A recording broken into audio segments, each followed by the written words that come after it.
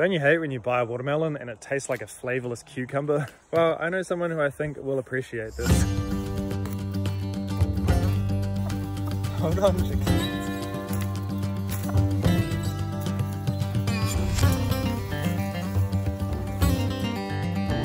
That little jump though. Good chickens. Let's see if the turkeys want some. ah, my finger. Good job. I've still got some skins, so let's see who else wants to try. Okay, McGill, you want to try? Not for you, eh? It's a no from the sheep. you just want cuddles. In a few hours, let's see. oh my god. Good job, chickens. Finish it off.